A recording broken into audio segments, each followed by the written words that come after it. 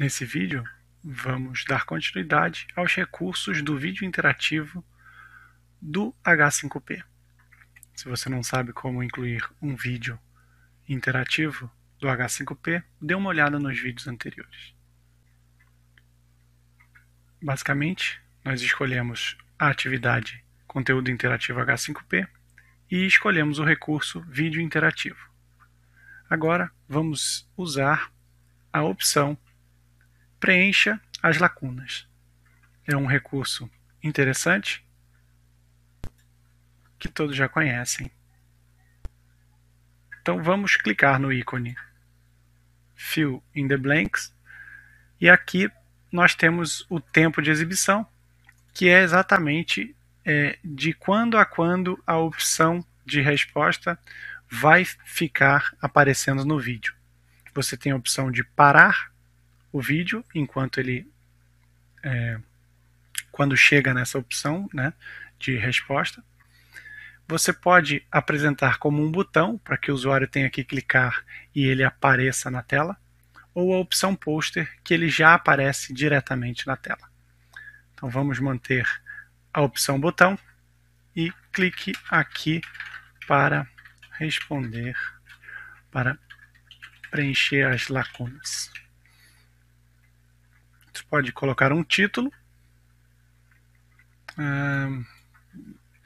capitais, uma descrição, preencha as palavras que faltam. E ele já te dá uma informação, uma instrução interessante aqui. Como que você deve incluir o texto. Né? Você deve incluir o texto entre é, asterisco e você pode colocar opções alternativas, não precisa ser apenas uma palavra, né, podem ser mais de uma palavra. Você coloca as opções alternativas com o barra. Então, o navegador é uma opção e browser é outra opção. E também você pode dar uma dica. Colocar uma dica, você deve colocar os dois pontos depois das opções. Então, aqui vamos colocar Porto Velho é a capital de. E aí, então, você coloca os dois asteriscos para delimitar o espaço que você vai colocar é, o campo vazio. Então, é a capital de Rondônia. E barra RO. O barra RO é uma alternativa a escrever Rondônia. Então são duas opções. Podemos adicionar mais blocos, né? Então vamos copiar essa aqui e fazer uma outra opção. E aqui colocamos é, SC e aqui Santa Catarina. E aqui vamos colocar Floripa. Dois pontos é um estado do sul do Brasil. Vejamos como aparecem essas opções para a gente. Você também tem a opção de dar um feedback geral, caso o aluno acerte as opções. Você pode delimitar a faixa de pontuação dele e dar o feedback. Então aqui, é, se você adicionar 0 a 50, 49, você errou Parabéns.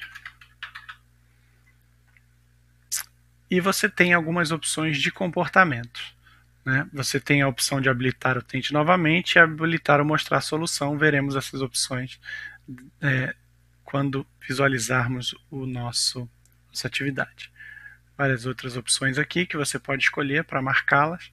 E a opção também de adaptação, que é quando os aluno, o aluno acertar todas as questões, você pode encaminhá-lo para um, um, algum tempo no futuro ou no passado. Então vamos colocar aqui que ele vai para 2 minutos e 37 segundos. Ele pode desativar isso e apenas continuar.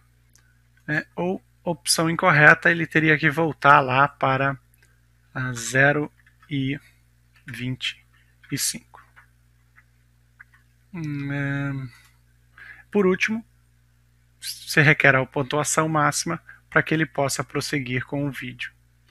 Então preenchemos as opções, veremos como isso aparece para a gente. Então estávamos em 12 segundos né, e vamos visualizar.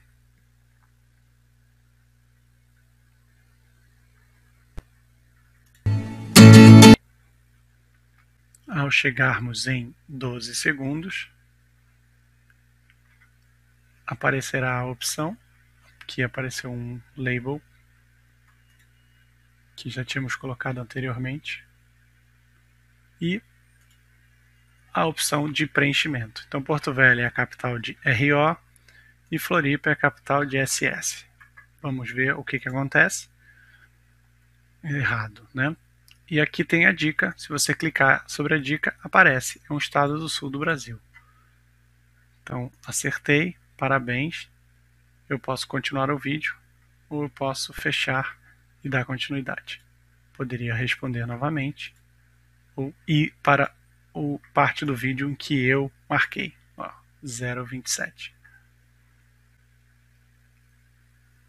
Esse é mais um vídeo dos recursos do conteúdo interativo H5P.